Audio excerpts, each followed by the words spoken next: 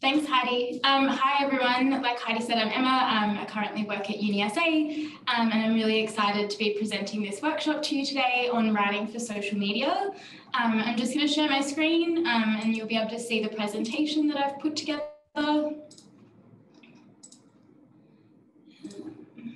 Okay.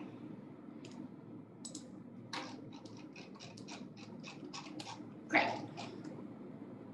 So, writing for social media. Um, it's going to be a big presentation, but I'm hoping I can cover the bulk of the key sort of messages in the first 30 minutes of this to allow enough time for questions at the end. Um, so the agenda for my presentation today, I'm going to give a bit of background information, and then I'm going to run through what I think are the sort of the key things to make sure that you're writing to the best of your abilities on social media, which includes understanding your audience, um, tips and tricks, learning how to sell yourself. Um, people always have lots of questions about hashtags, so there's a bit of information about that, um, and ways that you can find out what is or isn't working for you. Um, great. So I thought this was a very good quote to start things off on because I think it's really important that um, everyone realizes that it does take time to nurture and work on social. Um, it's not a matter of just doing one thing and going viral um, and hoping for the best. So it is important to be able to have a little bit of time um, to invest in it, but I will do my best to give you some tips for those of you that probably just can't afford to spend all of your time on Instagram and Facebook. So before we start getting into the social media content and writing, there's some key questions that I think um, everyone needs to ask themselves beforehand. Um, and I think a lot of us avoid doing this or just don't really think about it in the rush of um, trying to get posts up. But some important key questions that I think will end up dictating how you approach social and how you approach writing for social are things like why are you're using it in the first place. What do you think makes you unique on social? What differentiates you from other people within your, your community? How much time do you feasibly have to spend on your social media? I think that's one of the most important things. Um, what content formats will you or can you use? Like, are you already using video? Is that something you want to get into? Um, you know, are you doing blog posts? That kind of thing. Um, what channels do you already exist on? Facebook, Instagram, TikTok? Are, are they working for you? Um, and is there anything else you're aspirationally wanting to get onto? Um, and then just the last one, how you manage content creation and, uh, and publication. So I'm going to try and answer a lot of those questions for you today, or at least how you can go about answering them. Um, so to kick things off, we'll start with a quick overview of the types of content that people want to share on social. Um, so they cover, I mean, they all relate back to people's values, identities, and emotions. So there's lots of different things you can do to hit those different targets. Um, so things like how-to content, hints, tips, um, you know, anything that relates to someone as an individual and that they believe in is going to be really important. Um, it's really good to know the why of something before you start. Um, I think that'll help you inform your content in a really great way. So, your audience. So, this is probably one of the biggest parts of the puzzle, and I think it's a step that lots of people don't think about. Um, knowing your audience actually helps you figure out what you should or shouldn't be writing, um, what the people that are following you care about, what the people you would like to have following you care about. Um, because once you know that information about what um, the people following you are interested in, you're going to get a better idea of what you want to say, um, as well as the right kind of tone and voice for your message. Um, there's some really key factors that helps you maintain consistency sort of later down the track. So just sitting down and thinking about who already engages and follows you. So who's commenting, messaging, sharing your content, who's already following you. And if there's a gap there between who is following you and engaging with you versus who you would like to be, like to have following you or engaging with you, and how to get there. So there, um, I think this is the most underestimated factor in writing for social media. So I would say this is literally your foundation. This is where you need to start. Um, once you've got that, you can move on to the writing for social component. So, writing for social.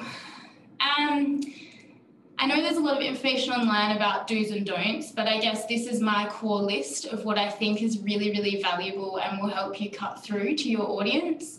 So, authenticity is number one. You have to show the human side of your art, your business, your practice.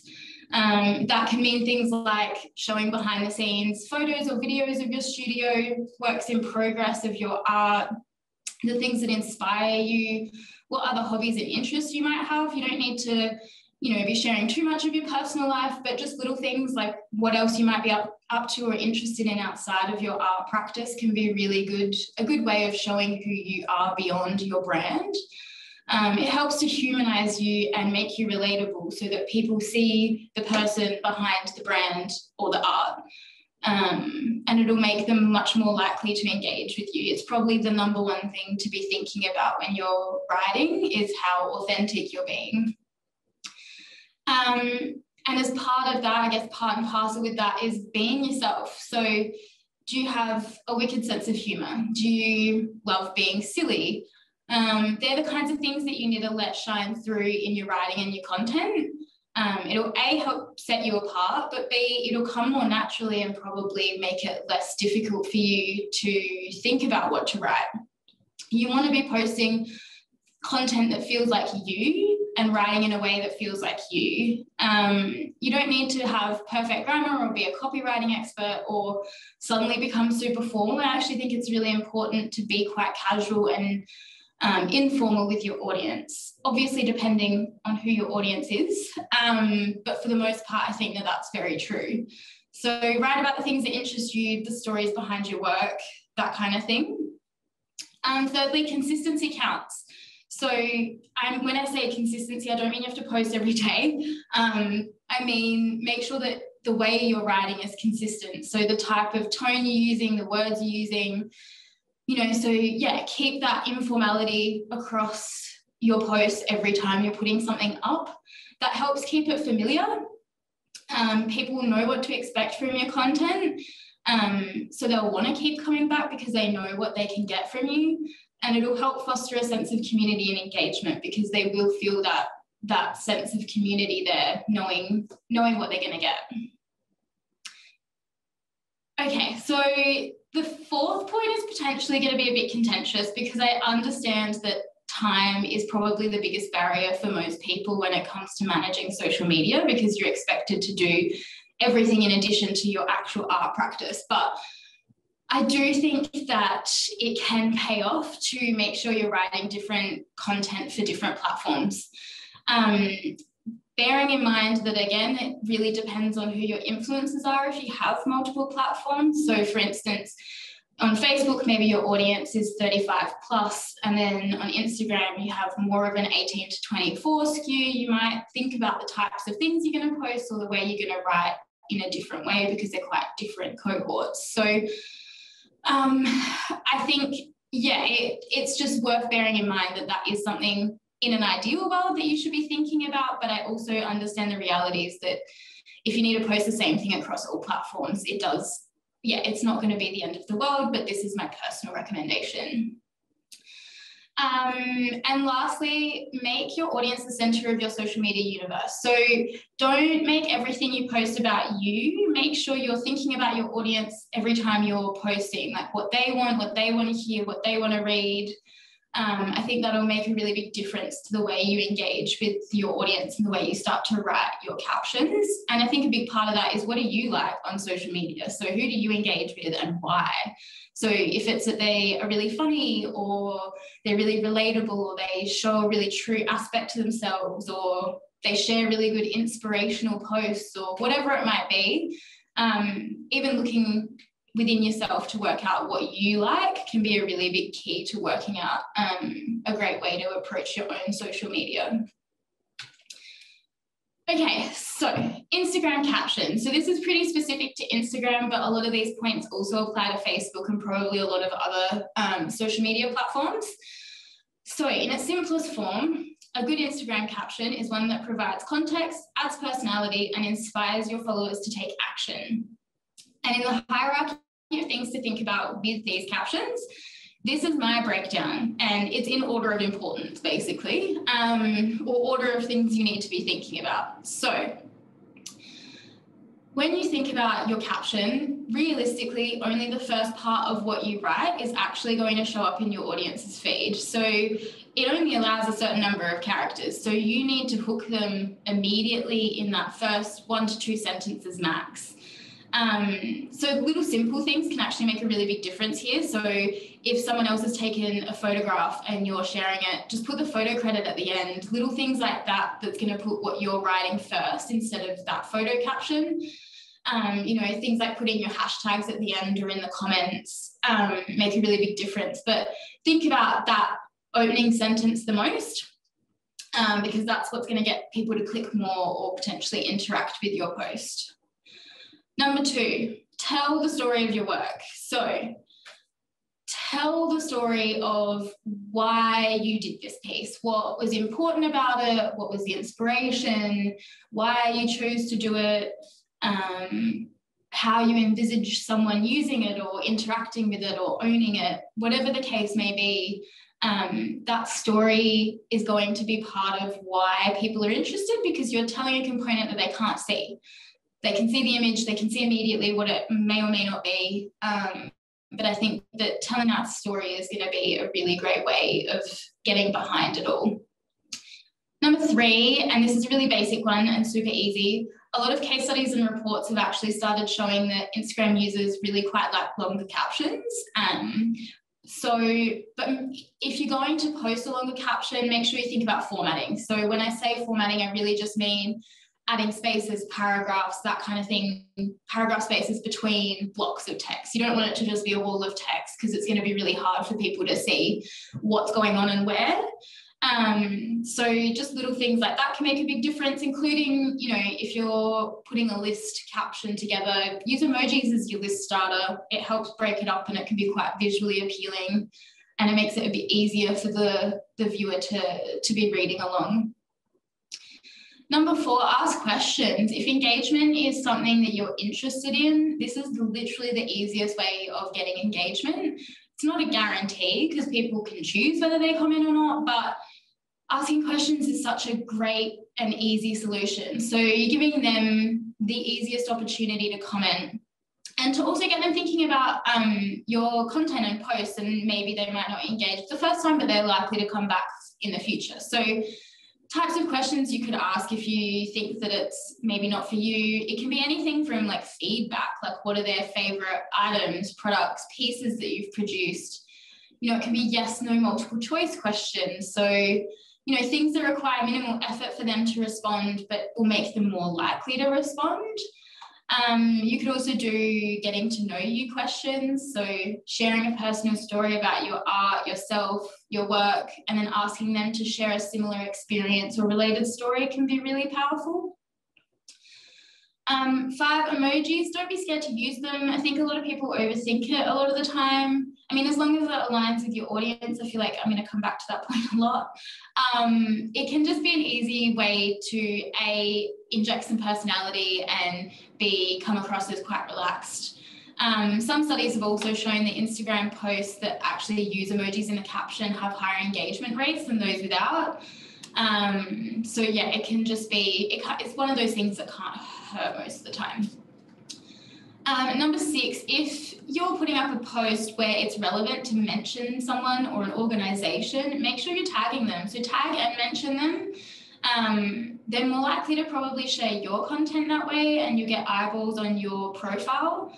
Um, so, you know, it can be someone you've collaborated with, if you're doing an exhibition and it's a gallery or other artists that are also exhibiting, you're working with a partner organization, all those kinds of people are perfect to tag and mention in the comments.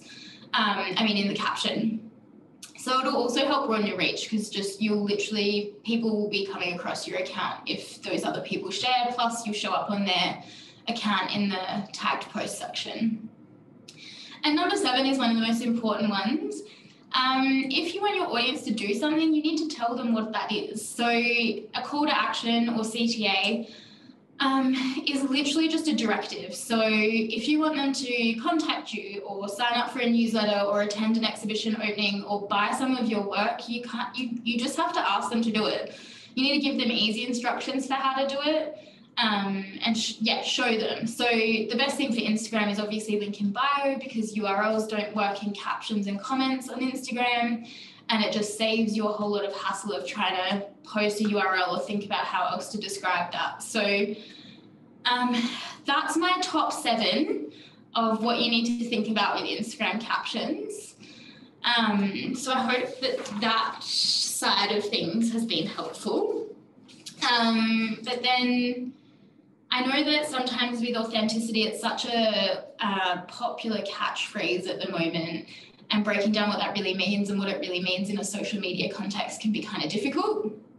Um, so these are the things that um, are industry best practice for, I guess, how to achieve authenticity in um, the best way. So I've touched on this before, but consistency. So consistency with the way the way you write, it helps people to see your content and you as authentic, real, and relatable.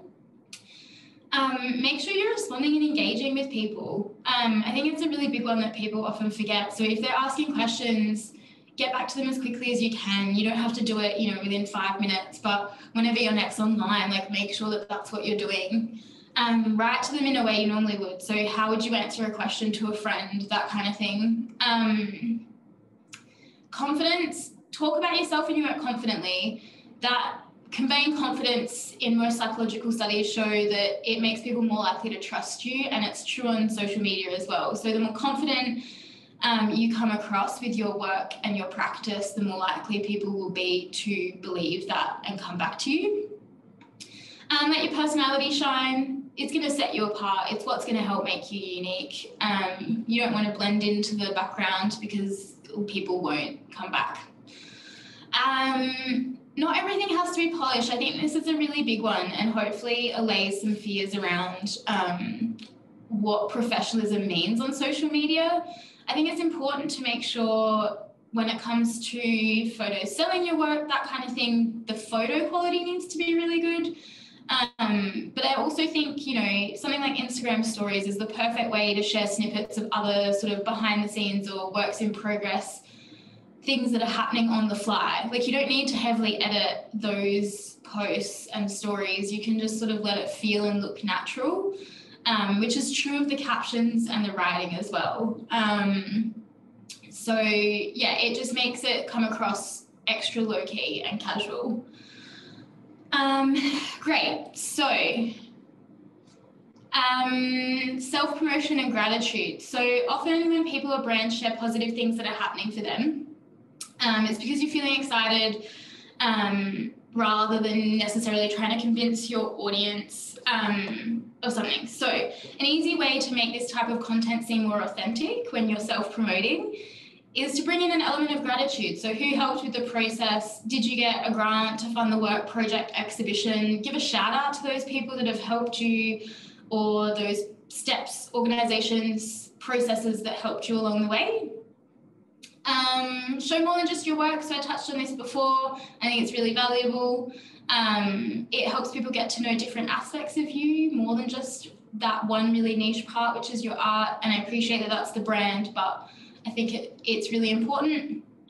Um, and stories. So by that I don't mean Instagram stories, I mean the actual story of the product. So tell people where the materials came from, how you manufacture or create what you're creating, um, how you design the things you want them to buy, how the ideas came to you, how long did it take, all of those kinds of things. People don't know that. That's what's going to be interesting to them.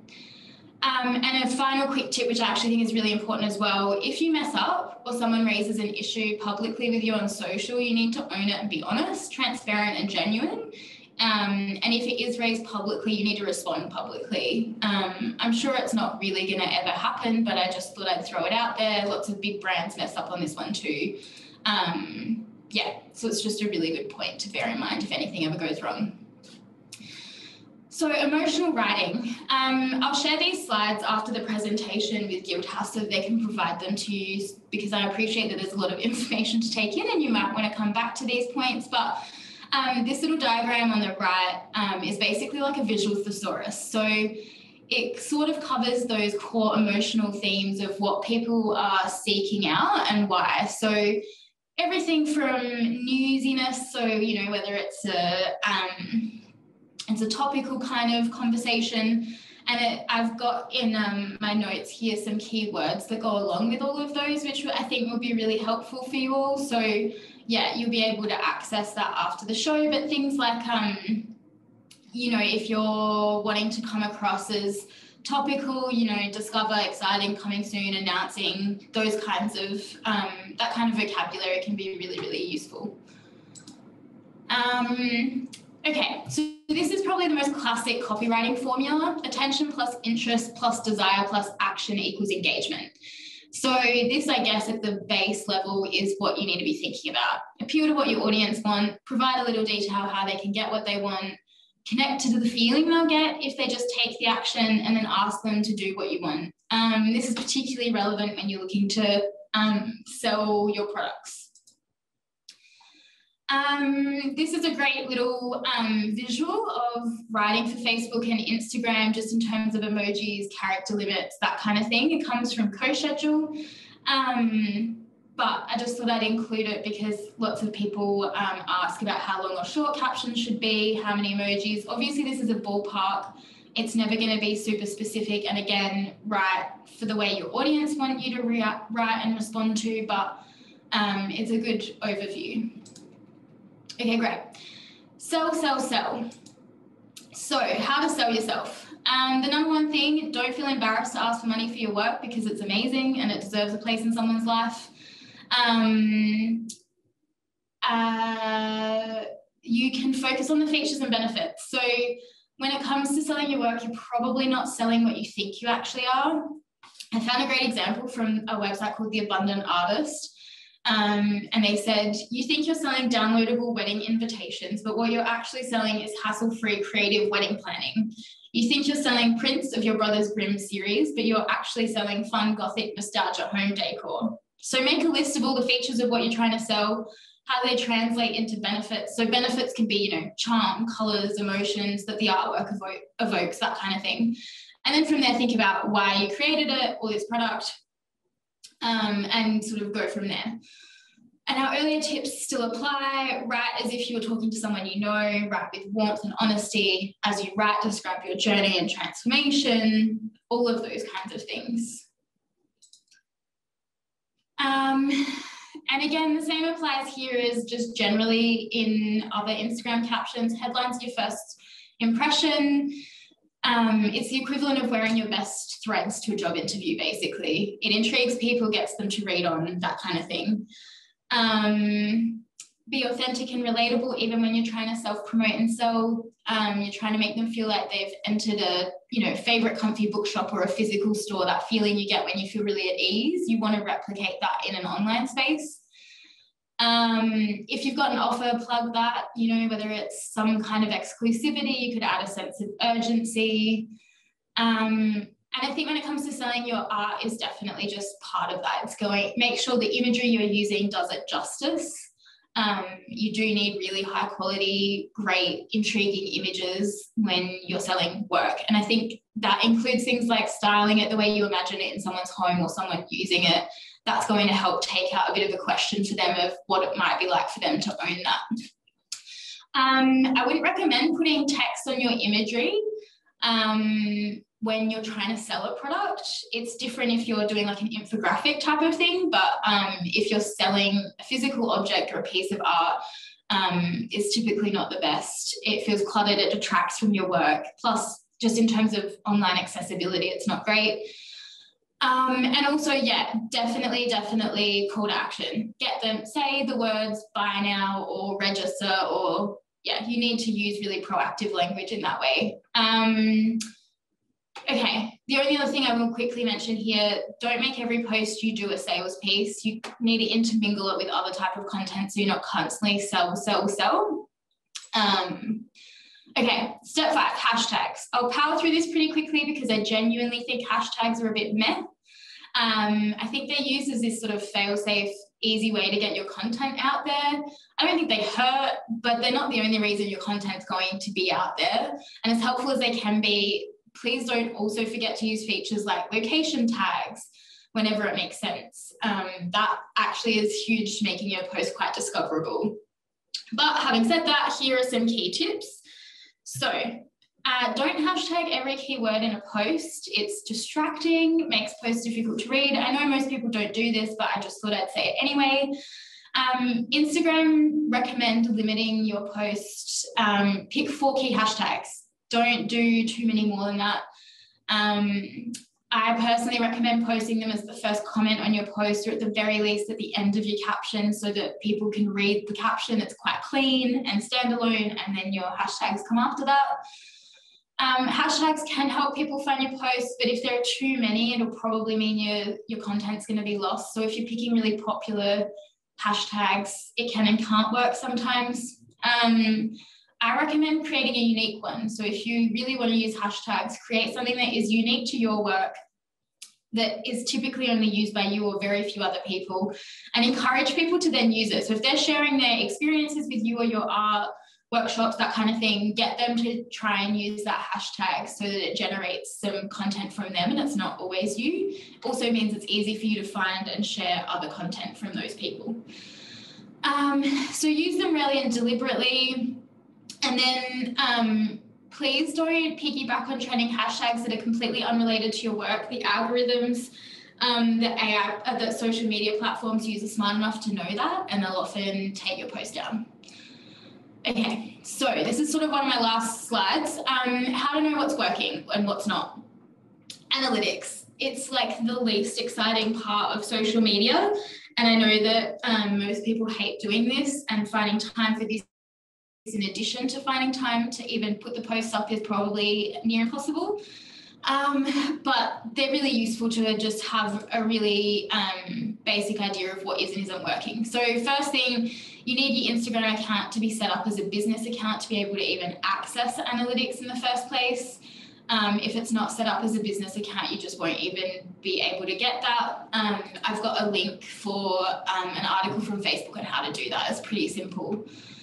Um, so ideally, your goals on social media determine what you're actually going to use to measure its success. So typically, for every goal you have, you need a related metric which will help you determine if you're hitting the mark or not. So, engagement. Uh, this is probably my most favorite metric to use to track success. Um, it basically looks at how actively involved the audience is with your content. Um, it basically means the number of interactions you're getting, things like shares, likes, comments, um, it's a measure of that. So high engagement rates mostly indicate a good audience health. You know, they're responsive, they're engaged with your content.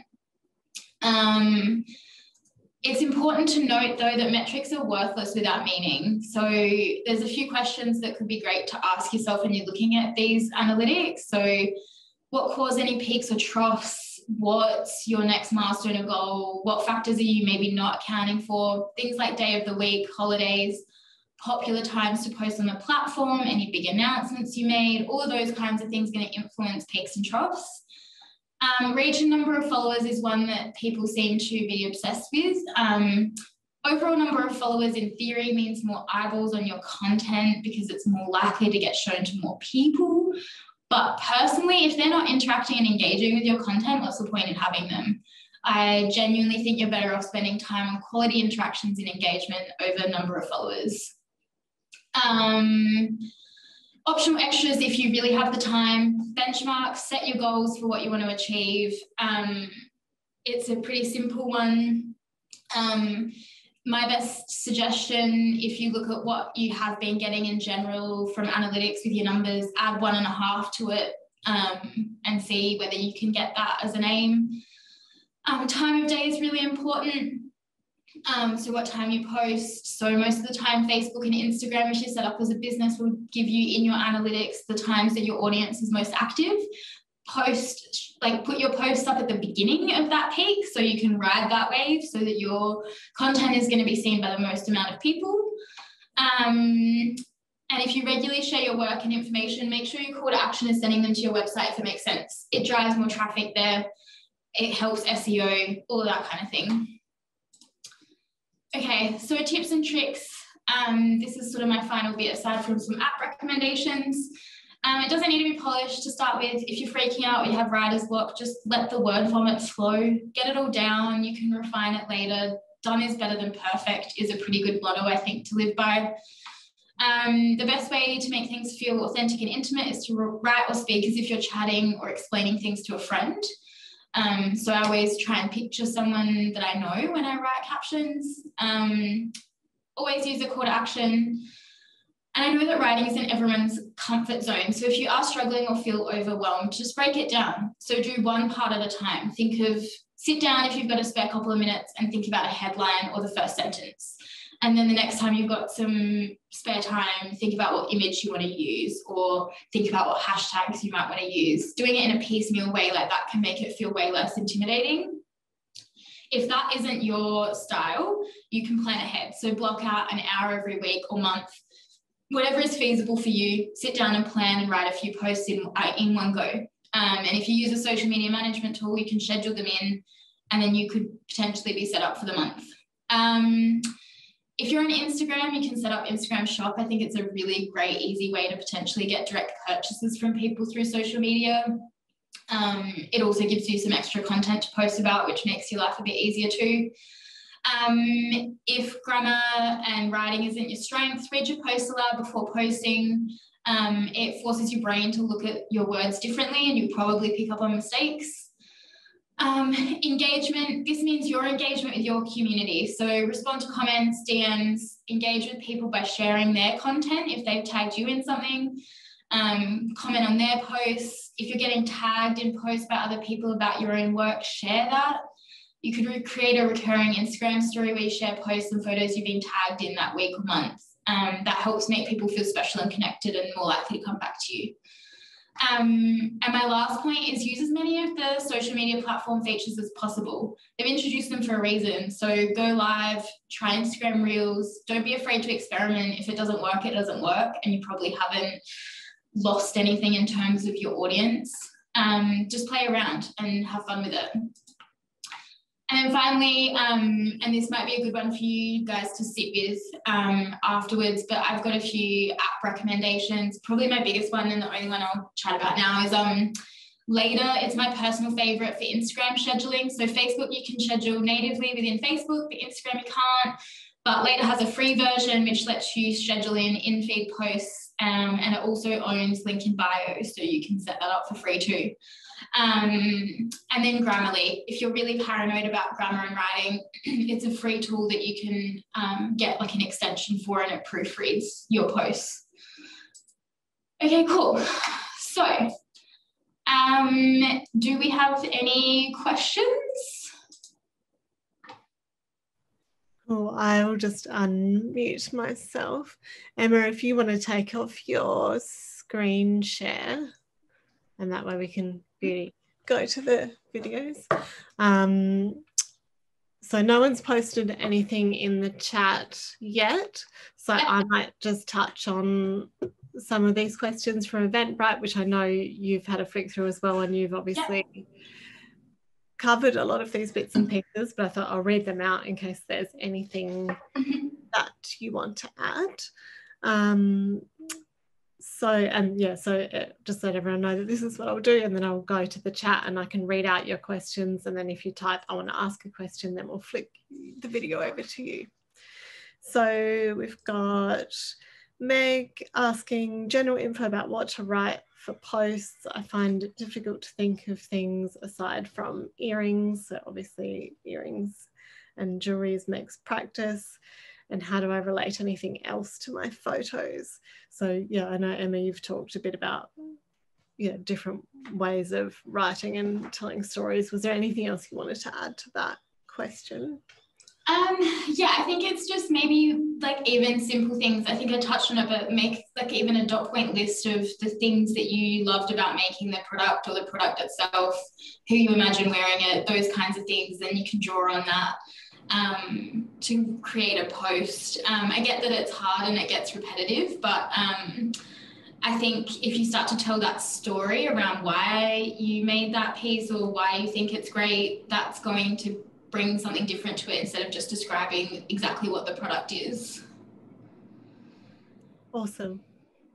Thank you. And yeah, also just to let um, everyone know if I'm asking your question and there's other things that you want to add, you can either turn your mic on and interject or just type it in the chat because I can't see all of your videos at once. So it's a little bit tricky to know who's here and who's not. Um, so Julie has asked how to find and then get in front of your audience on Instagram. Um, yeah, look, it's a slow process. Um, I don't think there's a single formula that's going to somehow guarantee some kind of immediate success on social. I know that's not the answer that everyone necessarily wants. Um, I do think that this is where consistency comes into it. So be smart with your time and energy. Um, and that's where you need to think about how much time you can put into social, but post frequently, look at who your audience already is if you've got time, look at, say, there's other artists in the community that are potentially doing similar things to you or approaching things in a similar way. Work out, you know, what you like about their content, what seems to be getting good engagement, um, and then start to adopt those practices for yourself. Um, it it just takes time and consistency. They're the only solutions. Cool. Sorry. no, not at all. I think that's very useful. It's yeah, it's very eye opening. Yeah. Um, so then we've got Patty asking about costs, so spending money on social media ads, like how much to spend and when, and how do you know how effective they are? Yeah. Okay. Um, it's tricky. They're definitely, particularly on Facebook, making it uh, more and more of a thing where you need to spend money to get in front of people. Um, I don't think you need to spend heaps. I do think you could spend a little and it can go a fair way. It can add up quickly too, though.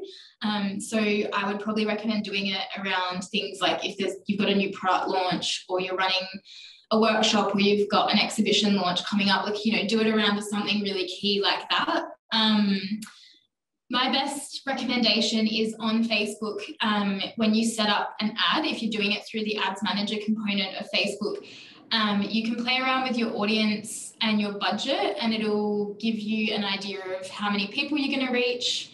Um, and you can sort of see that in the planning stage. You don't actually have to lock in the ad at that point in time, but it gives you a really good sense of how many people you're going to get in front of. Um, and that will push across through both Facebook and Instagram. Um, but you do need to think about what your goals are with your with your advertising. Is it to get the most amount of people looking at it? Is it to push people to your website? Is it to get people to buy something? Because you're going to have to set up your ad in a slightly different way. Awesome. That's really good to know, Emma, that you can kind of like dip your toe in before you spend money and see yeah. you know what you're going to get. For sure. That's great. Um, so Monica has asked a question how to write about your art practice. And I know that you've spoken about you know, the, I mean, this whole focus of this session is on writing, and you've talked about mm. authenticity and those sorts of things. Um, and also, I just wanted to let Monica know if there's more because Emma's background is kind of in digital and social media. But if you're wanting to know more about writing about your art practice in general, you can book in for an advice bank session with Guildhouse one on one. So we can help you with that too. But I will pass over to Emma if you've got other things to add that you haven't already. Um, I don't know. I feel like I'm repeating myself a little bit, but it is about um, just being casual and informal. Like, how would you talk to a friend that isn't in the art world about your art practice? Um, I think if you can think about how you might describe it to friends and family that sit outside of that world, I think that that's the best way to approach it. Um, don't assume that people are going to understand all of the terms or things you're talking about. Um, maybe break it down a little bit and go simple to start with. If your audience is mainly artists, you could probably go a little bit more high level and talk about some quite niche things. Um, but I'm probably assuming that you've mostly got audiences that are a mix of everything. So, yeah, I think just going simple, thinking about it from that point of view of what an outsider might be looking for um, run things past friends and family as well. Get them to, you know, tell you whether it makes sense, whether it's interesting, that kind of thing. That feedback can be really invaluable. Great. Thank you. And yeah, as I mentioned, if there if you're wanting to know more, you can always hit us up, Monica, for some more advice. Um, Annette has asked how, how can we make it less time consuming? So you've talked a little bit about scheduling. Do you have other any other thoughts on kind of streamlining things? Um, I think I personally find sitting down and doing things in a block makes it so much easier. And I think that is where scheduling is really important. So um, that's where apps like Later and there's heaps of other ones um, can be really, really useful because you can sit down and just sort of do a block amount of posts at once and you can almost let your social run as is. It almost takes care of itself for however long you've scheduled things in for. Um, I think that that is a smart use of your time instead of trying to find an image, write copy, and then sit down and post it and do everything in the moment every time you need to when it probably isn't going to be ideal timing. Um, so yeah, either that or again, I think sitting down and just doing little bits at a time makes a really big difference. Um, and work out how much time you want to spend. I touched on this at the beginning, but I actually think that that's one of the most important questions to ask yourself. But be realistic. If you can't spend, you know, every single day or more than a couple of hours a week, that's fine. You just need to work out how to work around that. So you need to plan around what is the most important part of where you should be putting your time in is probably engagement. So replying to comments, DMs, that kind of thing. And then at least getting a couple of posts up a week at a minimum. And then I think, you know, anything in addition to that is great. Awesome. Thanks, Emma.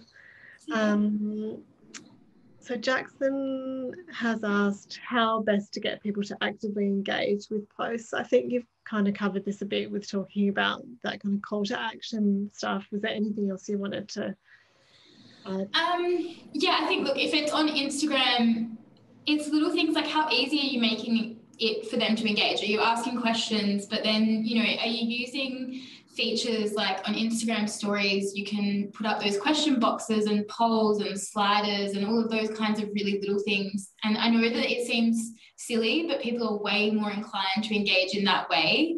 And the better engagement you get, the more likely your posts are then going to show up in front of those same people that have engaged with you. So um, those little actions that could take you literally less than a minute to chuck up a quick post and be like, it, it, can be about anything. It can you can post a work in progress and be like, what color do you like better? Or you know, keep it really simple and easy, but those little engagements go a really long way. Awesome. Thank you. So Ellen, and I know I can see Ellen that you've got another question in the chat as well, but I think I'll just continue flicking through these and then we'll get to that so that I don't miss anything. Um, has just asked about what's the best way to convey information about prices and purchasing work if you don't have an online shop? Um, yeah, look, I think you could set up Instagram shop if that's an option for you. Um, if it's not, I would say you know you could either you could go one of two ways you could be really really transparent and put it in the caption at the very end or you could ask people to DM you for more information. I do think getting them to take an extra action is potentially a barrier, though. The easier you make it for people, the easier it is for them to do what you're asking them to do. Um, otherwise, if you have a website but not an online shop, you could still put that artwork information on the website, including the cost, and then still link to it in that way so that you're not feeling like you have to provide every aspect of the information in the caption, because then that becomes a lot to sort of fit in. Great. Hope that helps. Thank you. That's great. Um, Neville's question, I think we sort of touched on a bit as well, but asking, you know, understanding that greater returns come from a greater yes. amount of effort.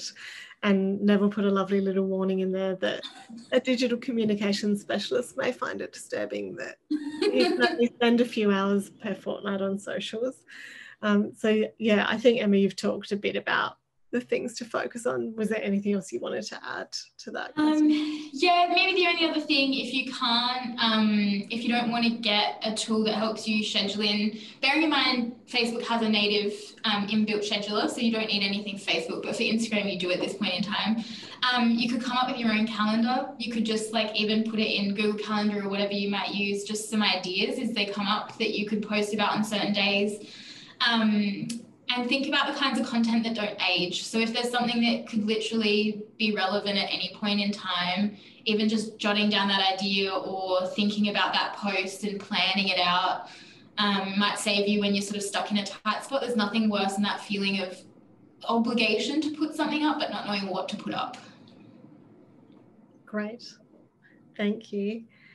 Um, Kristen has asked about engaging vocabulary. I think you've touched on this as well in terms of authenticity and you know keeping it casual and sorry this was for instagram specifically was there anything else you wanted to say other than what you've already um, I do have, like, I think I touched on it briefly on that emotional writing slide. Um, yes. In the notes that I've put together in that, which you'll all be able to see when you get the slides, it actually has some examples of some keywords um, around emotional writing um, and different um, keywords that can be really useful. So I think, yeah, you'll be able to hopefully see that when you get the slides. Yeah, awesome. And yeah, and just a reminder for everyone too that they'll be able to access the recording of this session later as well. Um, Lauren has asked a question about, I'm not actually sure what the question is in relation to writing. So maybe if Lauren's here, you might want to add something extra into the chat, but it's talking about tips for working in a not-for-profit arts organisation representing artists and community projects. So I am not sure exactly what that question means in terms of tips. So I might go over to the next one, but if you... Lauren's ready to say, if yeah, you can go ahead, Lauren. oh, cool. Hello, I'm an artist, but I also have um, I'm going to be representing Arts in Health at the Women's and Children's Hospital Foundation. So I am representing artists. So I suppose maybe this isn't the right platform, but also just any tips for representing other artists? Um, so you'll be posting about their work. Small um, exhibitions and workshops and projects.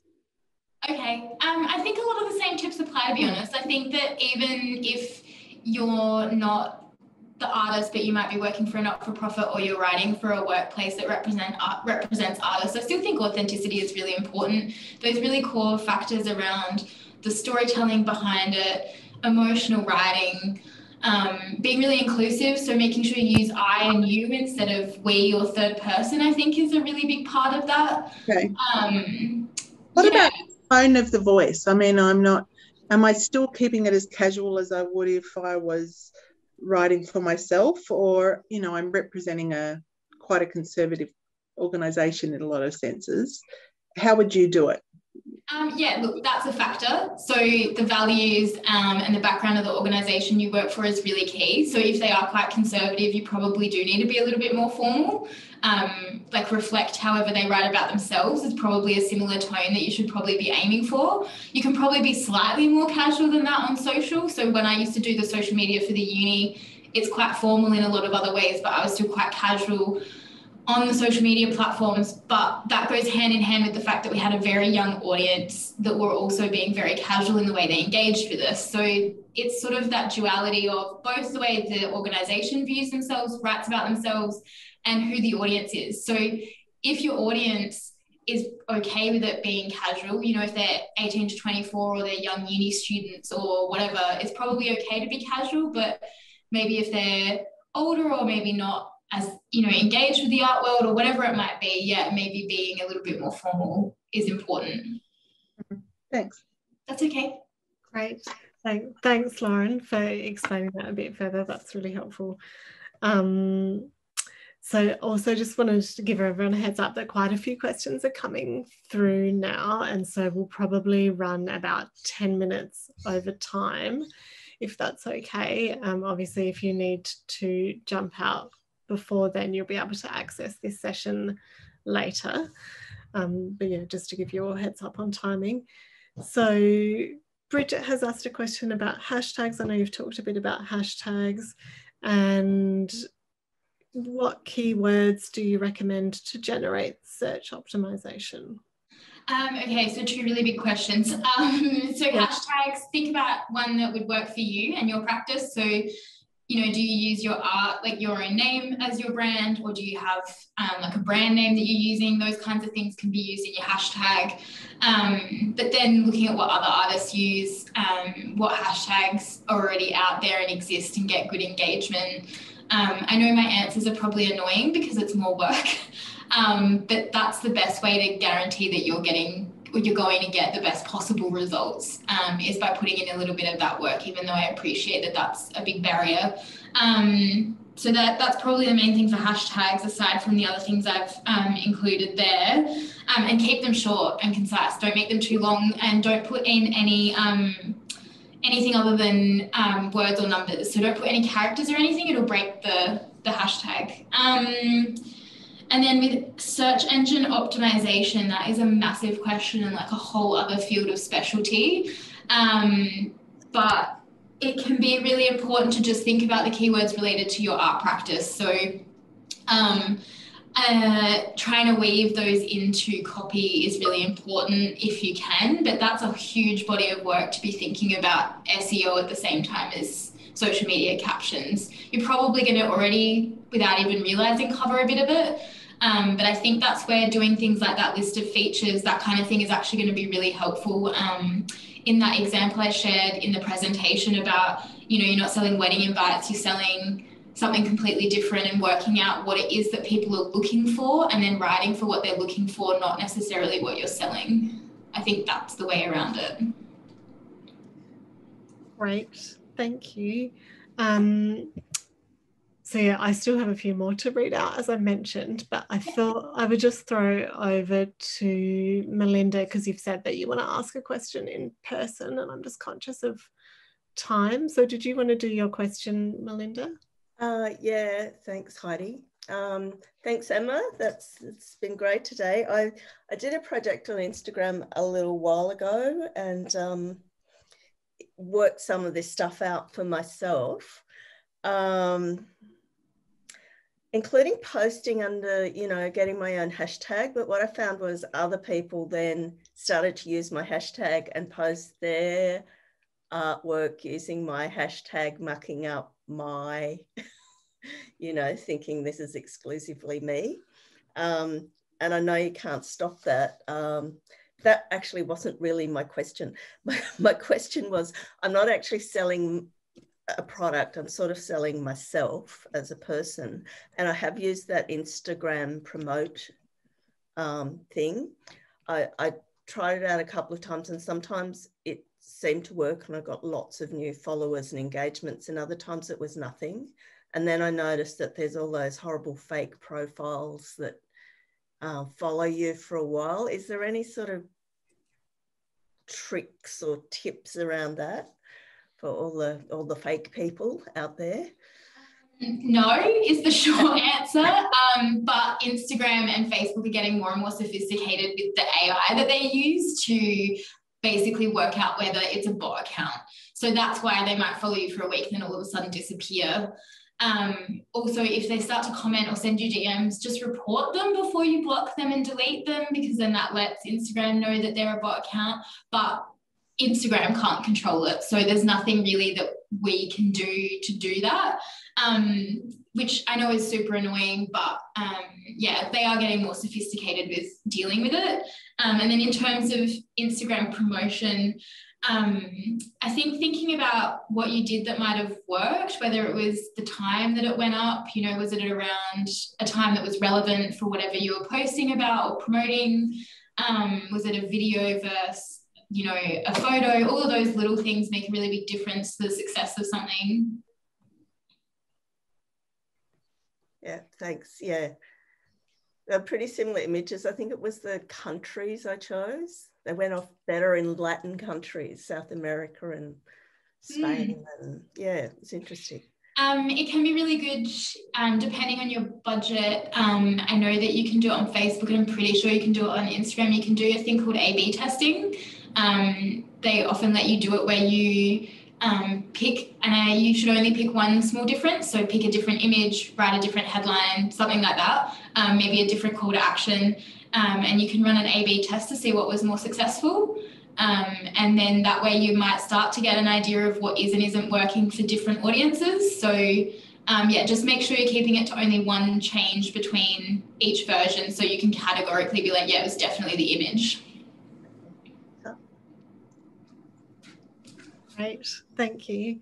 Okay. Um, so Rita has a couple of questions, one from Eventbrite and then a couple that have popped up in the chat. So I might kind of give you a list of those now and then I'll go to the, just these next few. So Rita firstly has asked about how important it is to engage with stories as well as posting on Instagram. Yeah. The other question is about she's not able to get reels and whether that's a problem for other people. And Ellen suggested it might be her phone, and she has a pretty new phone, so she doesn't think it's that. Um, and then the third bit is about the Emma that you mentioned, some research, some latest research on the use of Instagram and whether you have a link to that. Maybe that's something that you could send to me later and I could pass on. Yeah, I'll try and find it again. I hope I saved it somewhere.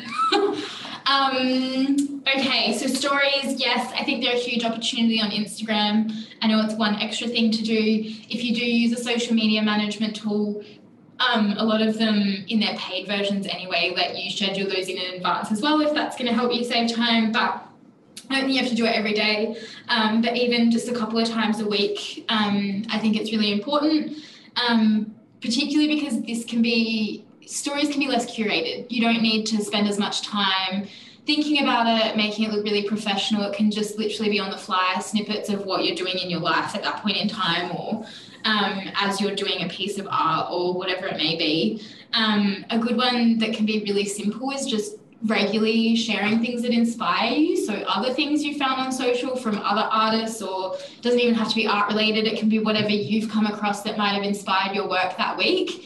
Um, basically, it just means you're not having to source your own content or think about what to post, but you're putting something up. And that can also then be a great way of um, putting some of those interactive features on Instagram stories of like whether other people are finding it interesting or what they've found that's inspiring that week or whatever it may be. Um, I think that can be a really easy way around having to try and generate your own um, your own information and post all the time. In terms of Reels having any bugs, it's super possible because it's still a pretty new app. Um, it does have a standalone app. I know that it can be really glitchy. There's lots of feedback online from people that really struggle with its usability in general. Sometimes what happens with newer um, apps is you might actually have to um, Sometimes you have a new phone, you might have to downgrade to an older operating system. Sometimes your phone might be more advanced than where the app's up to in terms of bug fixes, which seems really counterintuitive, but definitely happens.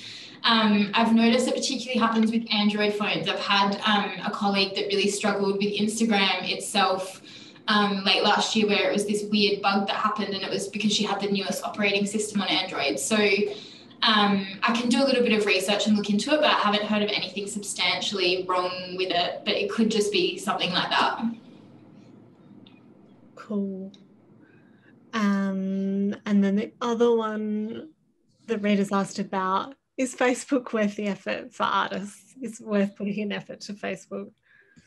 I think that's honestly a question for any platform you're on. Yeah. Um, it's a cost benefit analysis for your time versus what you get back for it. Um, I think it depends on the audience you've got on Facebook. It could be that you've just got more engaged people on Instagram. If you've got low engagement on Facebook, don't have Facebook. Like, if it's not working for you, it's not working for you, and that's fine. I don't think you should feel pressure to have to be on every single social media platform. I just think you need to have at least one. Um, so yeah, look, I don't think that there's a, a general answer for every artist. I'm sure some people find it super successful, but if it's not working for you, don't don't bother. Cool. Awesome.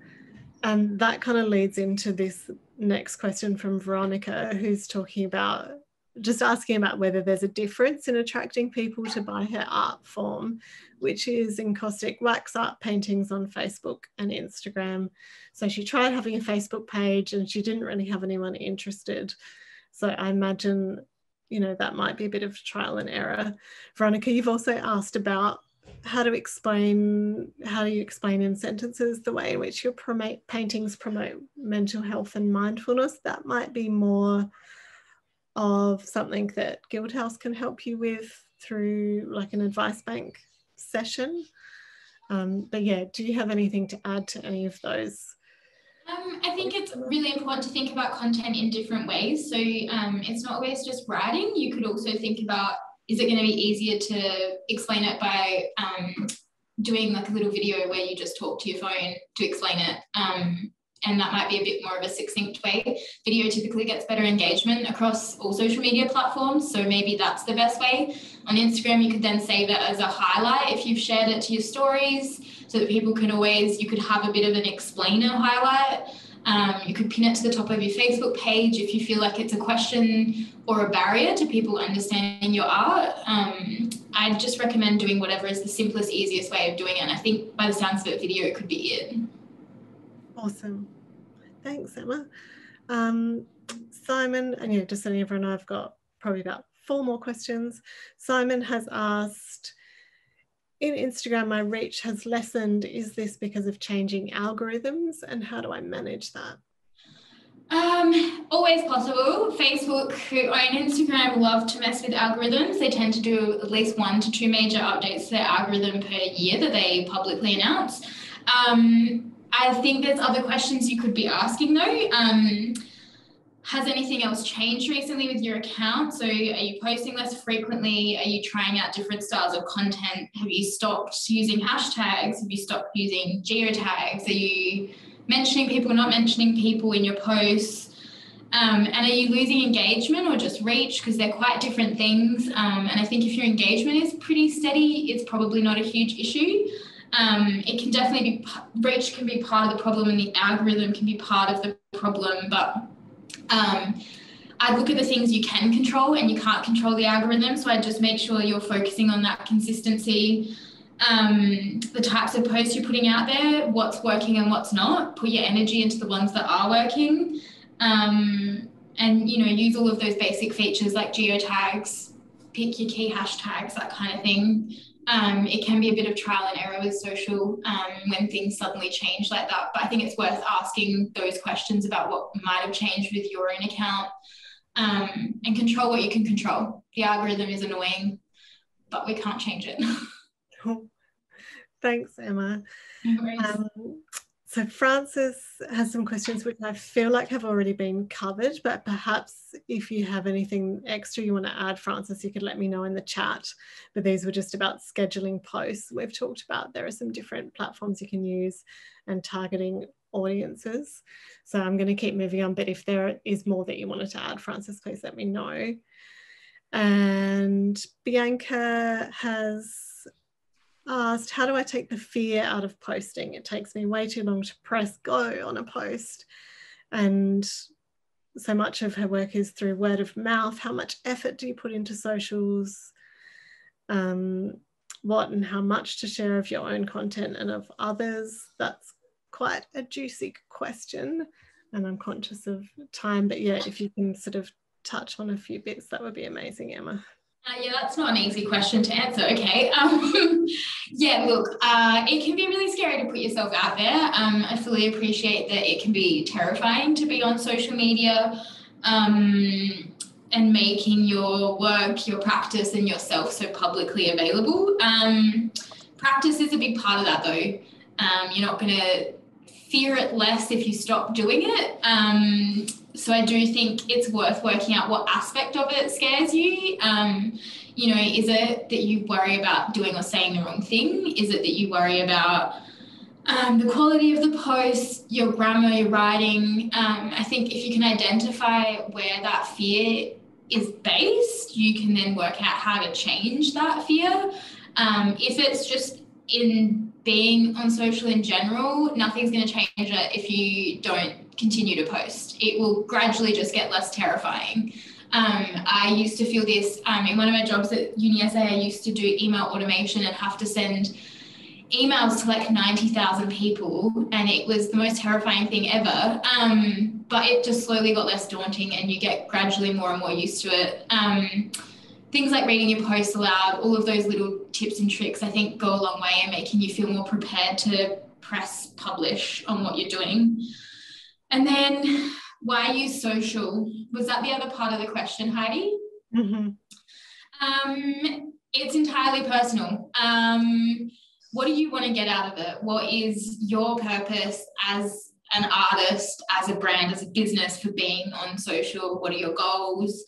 Um, and can social help those goals? Um, at the very least, I think that there is an expectation from people that you have at least one social media account these days. Um, and it's good for brand awareness at the very least. Um, and I think that people would find it weird if you had absolutely nothing. But um, I do think that it's about working out what platforms work for you, where your time and energy goes, how much time you've got, all of those kinds of things. So sitting down and having an honest conversation with yourself before you start is probably the best thing. And if you're finding it overwhelming because you're trying to do too much, work out what you can drop off. So if it's that Facebook's not working for you, stop doing Facebook and just focus on Instagram. Um, you know, if it's that you've trying to do something every day and you feel like you've only got three hours a week instead of, you know, 30 minutes a day or an hour a day, pare it back to three hours a week and focus on what you can actually put good quality effort and energy into. Thank you, Emma. That's awesome.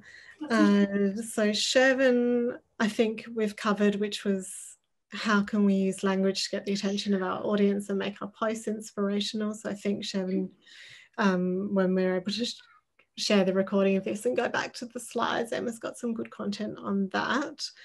And Genevieve, thoughts on writing as a third person. So I know you've touched a bit on that as well.